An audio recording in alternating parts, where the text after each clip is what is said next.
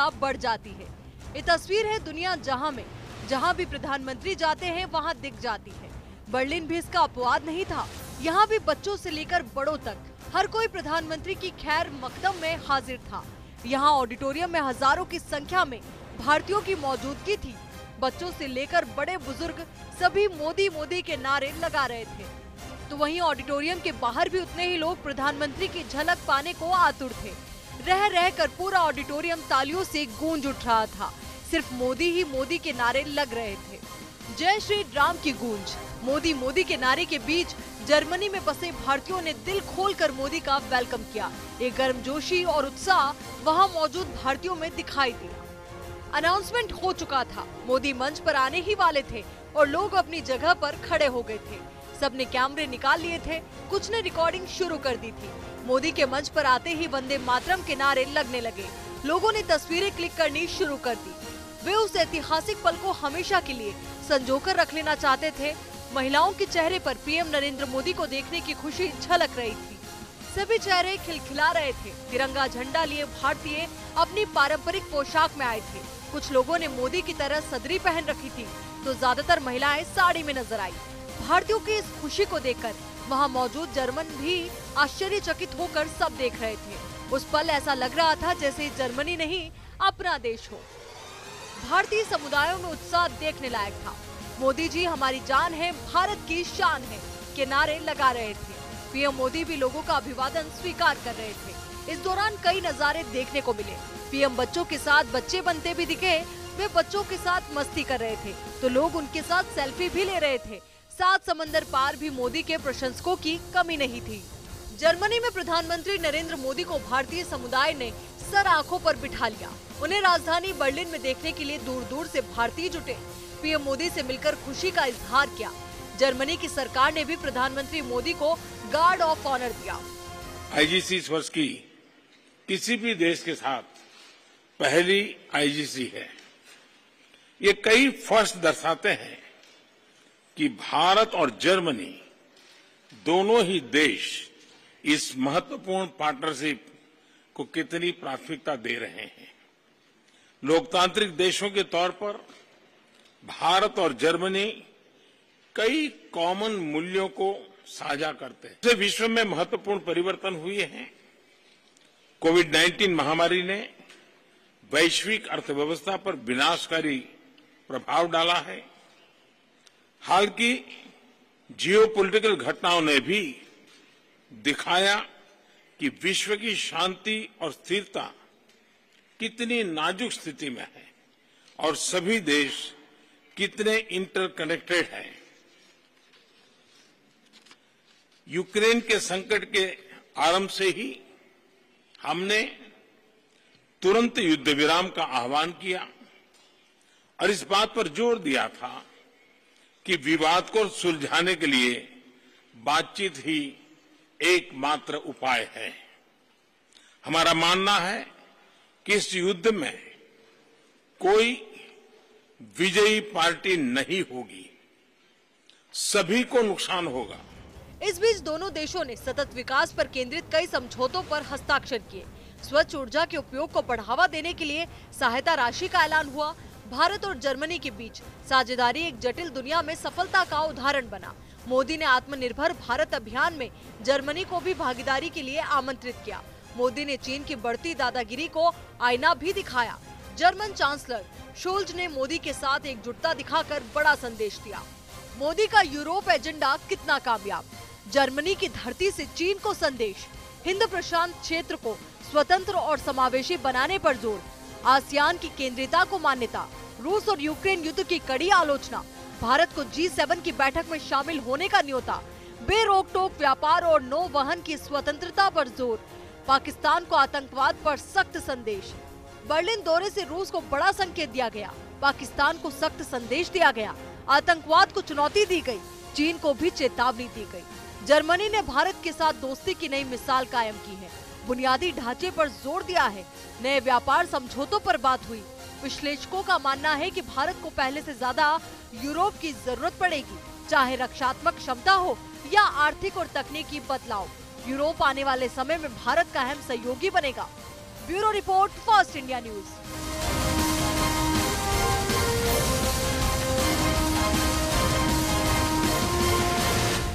PM Modi Germany में रह रहे भारतीयों से रूबरू हुए। ये मौका बेहद खास बन पड़ा।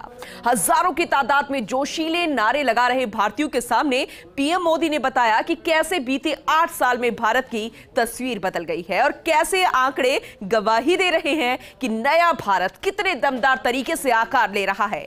पीएम की नज़र और नज़रिए से देखिए इस बदलते भारत की तस्वीर, जिसका खाका पीएम ने बर्लिन में पेश किया है।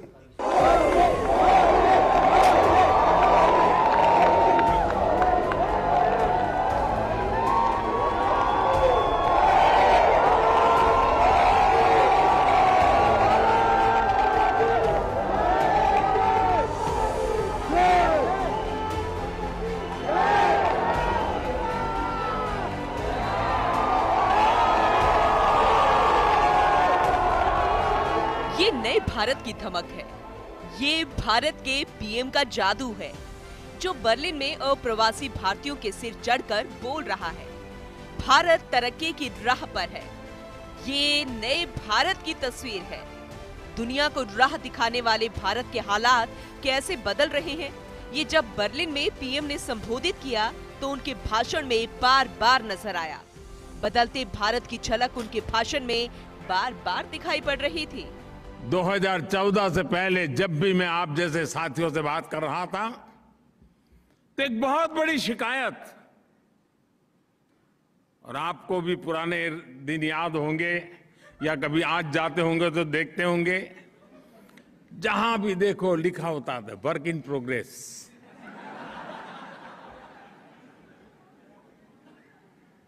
मैं किसी की आलोचना नहीं कर रहा। लेकिन हमारे यहाँ होता यही रहा कि पहले कहीं सड़क बनती है, फिर बिजली के लिए सड़क खोदी जाती है, फिर पानी वाले पहुँचते हैं, वो पानी फेर देते हैं, फिर टेलीफोन वाले आते हैं, वो गुजोहरी खड़ा कर देते हैं। एक सड़क, बजट खर्च हो रहा है, काम खत्म नहीं हो रहा है। ये मैंने सिर्फ़ एक उदाहरण दिया, क्योंकि आपने अपनी आँखों से देखा है। और इसलिए होता है कि सरकारी विभागों का एक दूसरे के साथ न तो संवाद होता है और न ही जानकारियों का कोई तालमेल। सब अपनी अपनी दुनिया बनाकर उसमें बैठे हुए हैं। हर के पास रिपोर्ट कार्ड है कि मैंने इतनी सड़क बना दी, कोई कहे कि मैंने इतने तार डाल दिए, कोई कह मैंने इतनी पाइप डाल दी। लेकिन परिणाम वर्क इन प्रोग्रेस इन साइलोज को तोड़ने के लिए। अब हमने पीएम गति शक्ति नेशनल मास्टर प्लान बनाया है। चारों तरफ़ उसकी तारीफ़ हो रही है। पीएम ने ज़ोर देकर कहा कि भारत अब दुनिया में अपनी अलग पहचान बना रहा है। भारत दुनिया में एक बड़ी ताकत बन रहा है। ऐसी ताकत जो दुनिया में जब कोई संकट आता है तो वो भारत की ओर देखता है। पीएम ने कोरोना से लेकर रूस यूक्रेन युद्ध का ज़िक्र किया। पीएम ने बताया कि कैसे भारत ने दुनिया के संकट को दूर किया। 21वीं सदी के तीसरे दशक की सबसे बड़ी सच्चाई यह है कि आज India is going global.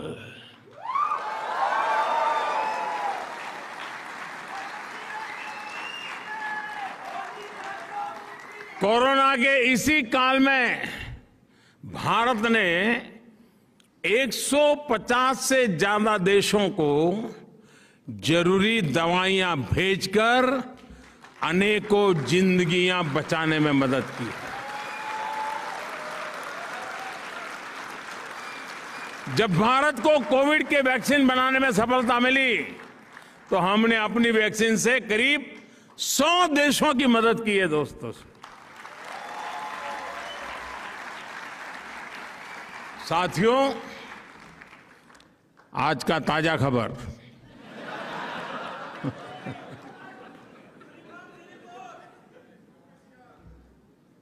रुकावट के लिए खेद है।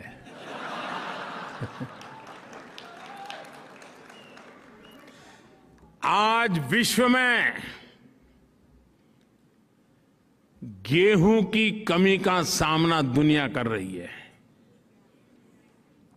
फ़ूड सिक्योरिटी के लेकर के दुनिया में बड़े बड़े देश चिंतित है। उस समय हिंदुस्तान का किसान दुनिया का पेट भरने के लिए आगे आ रहा है। बदलाव की बयां करने वाली स्कीम का ज़िक्र भी पीएम करना नहीं भूले।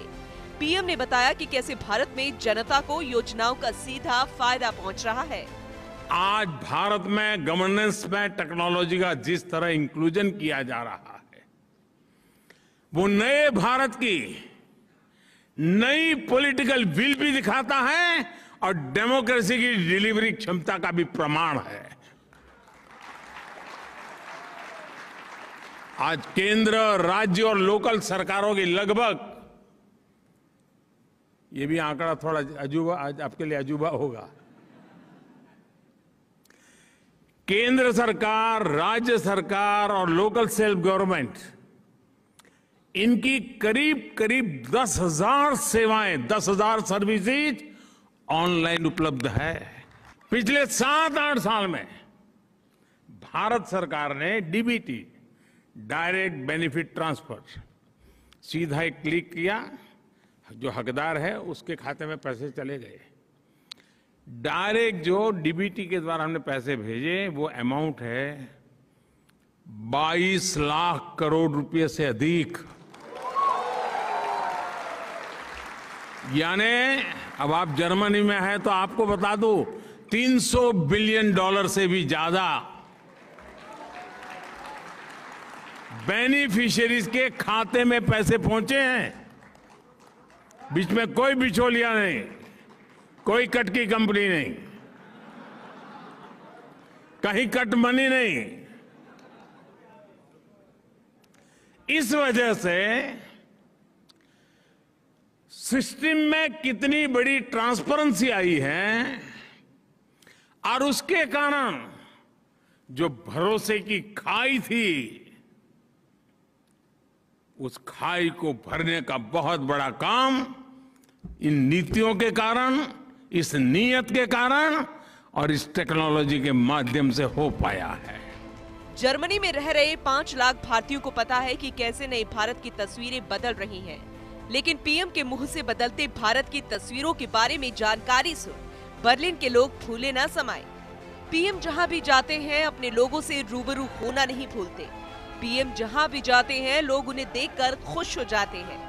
लेकिन पीएम भी अपने लोगों को देखकर सदियों के दर्द को नहीं भूल पाते। यही वजह है कि भाषण भले ही बर्लिन की धरती पर हो, लेकिन पीएम सदियों पुराने भारत के दर्द को अप्रवासी भारतीयों के सामने बयां करना नहीं भूले। पीएम ने यहाँ बदलते भारत की तस्वीर के साथ लाल फीता शाही पर निशाना साधा। पीएम ने बताया कि दशकों के अंतराल में भारत ने तरक्की पाई है। आज भारत में लोकल के प्रति जो क्रेज पैदा हुआ है, वो वैसा ही है जब आज़ादी के आंदोलन के समय स्वदेशी वस्तुओं के लिए पैदा हुआ था। अरसे तक हमने देखा कि लोग ये बताया करते थे कि ये चीज़ हमने उस देश से खरीदी है, ये चीज़ उस देश की है। लेकिन आज भारत के लोगों में अपने स्थानीय उत्पादों को लेकर के गर्व की नई अनुभूति आई है। आपको भी पता होगा, आज से 20 साल 10 साल पहले जब आप घर चिट्ठी लिखते थे कि मैं फलानी तारीख को आ रहा हूँ तो फिर घर से चिट्ठी आती थी, आते समय ये ले आना। आज जब जाते हो तो घर से चिट्ठी आती है कि यहाँ सब मिलता है, मत लाना।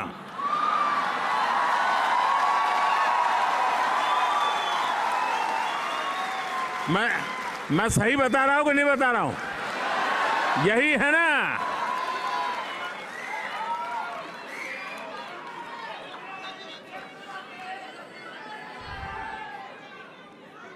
दोस्तों, यही ताकत है। और इसलिए मैं कहता हूँ वोकल फॉर लोकल बर्लिन में पीएम के भाषण के दौरान बदलते भारत में आई अड़चनों का ज़िक्र आया। बर्लिन की धरती से पीएम ने उन खामियों का ज़िक्र किया।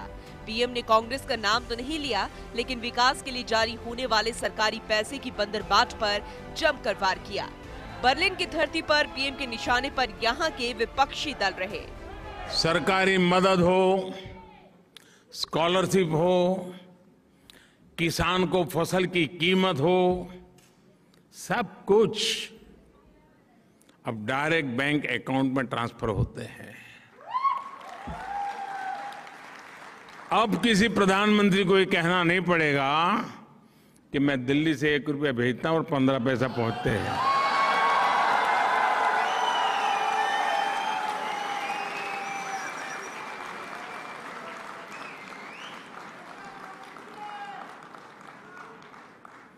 वो कौन सा पंजा था?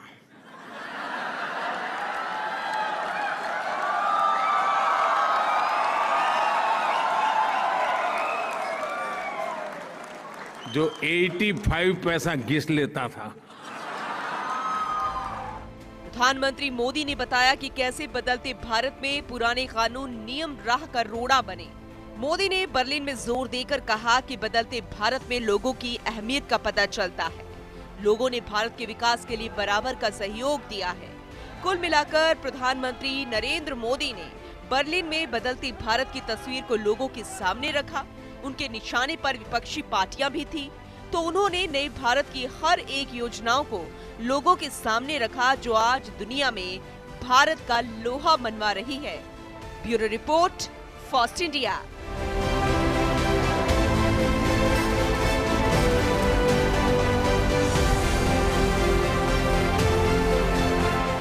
चलिए यहाँ पर रुकेंगे एक छोटे से ब्रेक के लिए फ़ौरन लौटते हैं।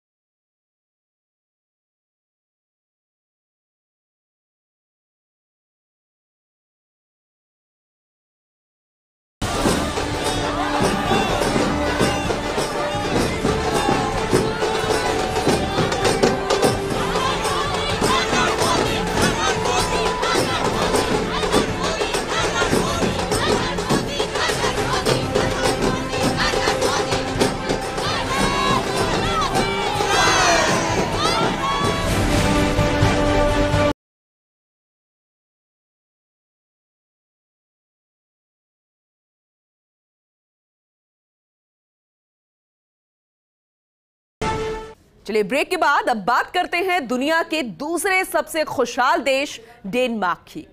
पीएम मोदी तीन दिन की यूरोप यात्रा में बर्लिन के बाद डेनमार्क पहुँचे। डेनमार्क की राजधानी कोपेनहेगन में मोदी का भव्य स्वागत किया गया। डेनिस पीएम मेटे फेडरिकसन खुद पीएम मोदी को लेने एयरपोर्ट पहुँचे। इसके बाद पीएम मोदी, पीएम फेडरिकसन के आवास भी पहुँचे। यहाँ पर दोनों देशों ने पार्टनरशिप और द्विपक्षीय संबंध पर मीटिंग के। और दोनों पक्षों में कई समझौतों पर करार भी हुआ है। ये रिपोर्ट देखिएगा। ये है दुनिया का सबसे खुशहाल देश, डेनमार्क। डेनमार्क अपनी खासियत के लिए जाना जाता है। यहाँ बेरोजगारों को सैलरी मिलती है। तो कई ऐसे ऐतिहासिक कानून भी बने हुए हैं, जो डेनमार्क को खुशहाल बनाते हैं। यहाँ के लोग दुनिया को खुश रहना सिखाते हैं। डेनमार्क की गिनती दुनिया के सबसे खुशहाल देशों में की जाती है। डेनमार्क एक ऐसा देश है जिसमें हर उम्र के लोग खुश रहते हैं। डेनमार्क में लोग अच्छा और लंबा जीवन जीते हैं। इसकी वजह है यहाँ की सरकार का लोगों के स्वास्थ्य को लेकर सतर्क होना।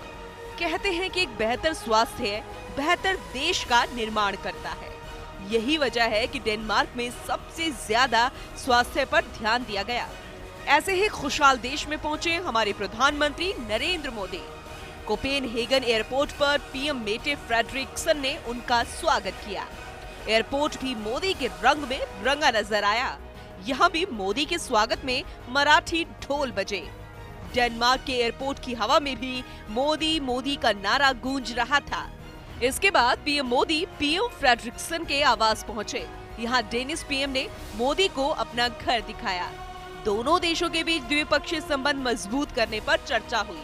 दोनों देशों के डेलीगेशन के बीच भी एक मीटिंग हुई। इसमें ग्रीन स्ट्रैटेजिक पार्टनरशिप और द्विपक्षीय संबंधों पर चर्चा हुई। दोनों देशों के बीच कई समझौतों को लेकर करार हुआ। दोनों नेताओं ने skill development climate renewable energy Arctic P to P संबंध जैसे मुद्दों पर बातचीत की। बैठक में इस युद्ध के मसले पर भी चर्चा हुई। दोनों देशों ने रूस यूक्रेन जंग को रोके जाने की अपील की। आज प्रधानमंत्री फेडरिक्शन का यहाँ होना इस बात का प्रमाण है कि भारतीयों के प्रति उनके दिल में कितना प्यार और सम्मान है।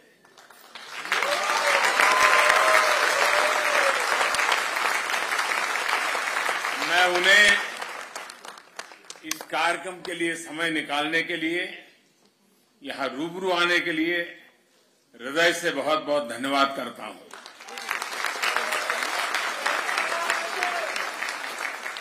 साथियों, कोरोना के कारण बहुत समय तक सभी की लाइफ एक तरह से वर्चुअल मोड में ही चल रही थी। अब ऑनलाइन से हमें ऑफलाइन जाना है। और हकीकत ये भी है कि ऑफलाइन ही लाइफलाइन है।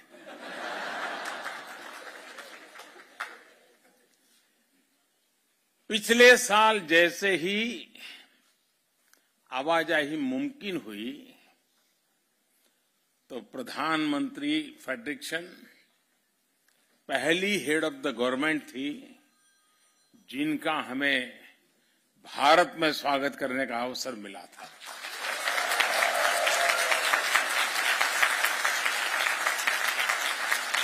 ये भारत और डेनमार्क के मज़बूत होते संबंधों को दिखाता है। और खास बात यह है कि हमारी ग्रीन स्ट्रेटेजिक पार्टनरशिप, प्रधानमंत्री फेडरिक्शन की व्यक्तिगत प्राथमिकताओं और उनकी वैल्यूज़ से गाइडेड है। आज उनके साथ मेरी जो चर्चा हुई है, उसे दोनों देशों के संबंधों को नई ताकत मिलेगी। पीएम मोदी ने दोनों देशों को एक दूसरे की ताकत बताया। व्यापक आर्थिक सुधारों पर चर्चा की गई। मोदी ने डेनिश कंपनियों को भारत में निवेश के लिए आमंत्रित किया। तो इंडो पैसिफिक क्षेत्र को सुनिश्चित करने पर ज़ोर दिया गया। नॉर्ड्रिक देश भारत के लिए अहम साझेदार है। यूरोप में नॉर्ड्रिक देशों की स्वतंत्र नीति है। Make in India PM Modi का ड्रीम प्रोजेक्ट है। और इसीलिए एक कारण यह भी है कि डेनमार्क यूरोप में मोदी के लिए खास है। Bureau report, first India. और इसी के साथ हमारे इस खास कार्यक्रम में आज के लिए बस इतना ही। लेकिन खबरें लगातार जारी है, बने रहिए हमारे साथ और देखते रहिए फ़र्स्ट इंडिया न्यूज़।